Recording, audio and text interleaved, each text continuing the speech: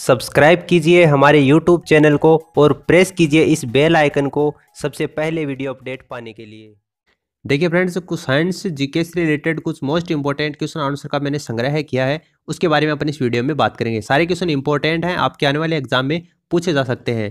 तो देखिए, आज का पहला क्वेश्चन है, पक्षियों को उड़ने की जो प्रक्रिया होती है, उसको किस नाम से जानते हैं? तो पक्षियों के जो उड़ने की क्रिया होती है, उसको किस नाम से जानते हैं? ब्रेलिंग के नाम से इसको जाना जाता है। पक्षियों के उड़ने की जो प्रक्रिया होती है, उसको ब्रेलिंग के नाम से जानते हैं। कई बार एग्ज़ाम में ये क्वेश्चन रिपीट होता है।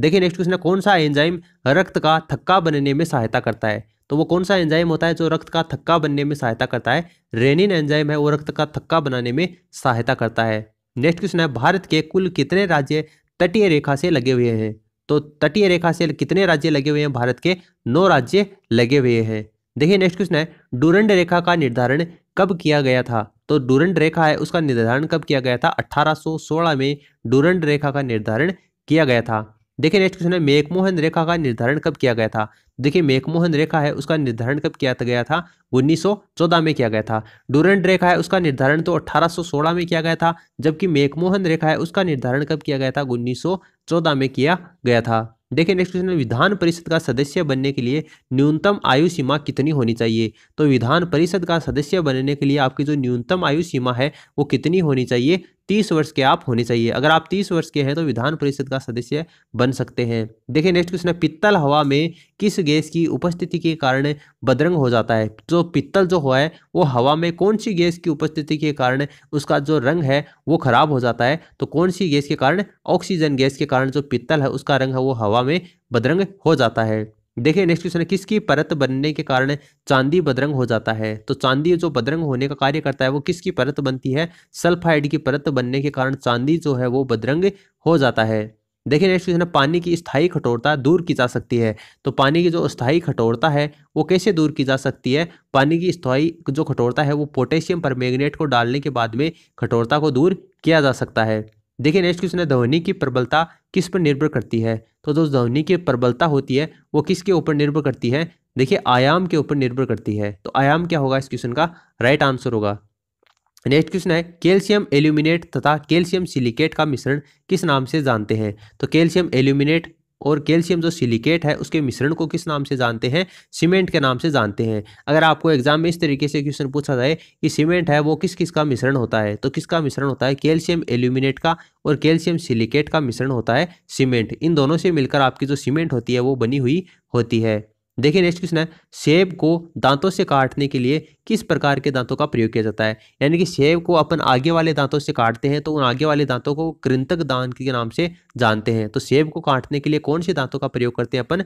कृंतक दांतों का प्रयोग करते हैं। देखिए नेक्स्ट क्वेश्चन है, कौन से दो रंगों को मिश्रित करने से हरा रंग तैयार होता है? तो हरा जो रंग होता है, वो कौन कौन से रंगों को मिश्रित करने के उपरांत प्राप्त होता है? नारंगी और बैंगनी रंगों का मिश्रण होता है। नारंगी और जो बैंगनी रंग होते हैं, उनका मिश्रण होता है आपका हरा रंग। देखिए नेक्स्ट क्वेश्चन है, मलेरिया संबंधित है। तो मलेरिया किससे संबंधित है? मलेरिया ज्वर से संबंधित है। मलेरिया क्या है? एक बुखार का नाम है। मलेरिया क्या है? एक ज्वर से संबंधित है। नेक्स्ट क्वेश्चन है, रक्त शर्करा स्तर को नियंत्रित करने वाला हार्मोन है। तो रक्त की जो शर्करा स्तर है, उसको नियंत्रित करने वाला, रक्त के जो शुगर है, उसको कंट्रोल करने वाला हार्मोन कौन सा होता है आपका? इंसुलिन हार्मोन होता है, जो रक्त की जो शर्करा होती है, उसको नियंत्रित करता है, उसको कंट्रोल करने का कार्य करता है इंसुलिन हार्मोन।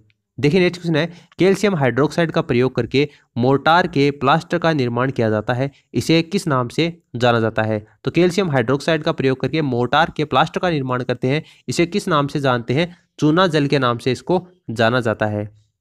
देखिए नेक्स्ट है फाइलेरिया रोग किसके कारण होता है? तो फाइलेरिया रोग होता है वो किसके कारण होता है? देखिए फाइलेरिया रोग होता है वो कृमि के कारण होता है। फाइलेरिया रोग है वो किसके कारण होता है? कृमि के कारण होता है। नेक्स्ट क्वेश्चन है पलकों के किनारे कौन सी ग्रंथियाँ पाई जाती हैं? तो जो पलक होती हैं, उनके किनारे कौन सी ग्रंथियाँ पाई जाती हैं? मिबोमियम जो ग्रंथियाँ होती हैं, वो पलकों के किनारे पाई जाती है। देखिए, नेक्स्ट क्वेश्चन है, मनुष्य की आहार नाल के किस भाग में कोई भी एंजाइम नहीं पाया जाता है? तो जो ग्रसिका भाग होती है, आपकी जो आहार नाल होती है, आहार नाल का जो ग्रसिका भाग होती है, वहाँ पर कोई भी एंजाइम नहीं पाया जाता है।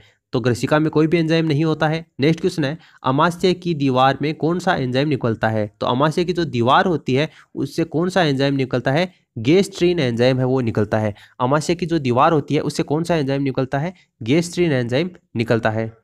देखिए नेक्स्ट क्वेश्चन है किसी संघ की जातियों की संख्या सबसे अधिक है? तो किसी संघ की जातियों की संख्या जो है, जो सबसे अधिक है, आर्थोपोडा है वो जातियाँ हैं, उस संघ की संख्या है, वो सबसे अधिक है। देखिए नेक्स्ट क्वेश्चन है, मनुष्य के रक्तचाप को किस धमनी से मापा जाता है? तो मनुष्य का जो रक्तचाप होता है ब्लड प्रेशर होता है, उसको कौन सी धमनी से मापा जाता है?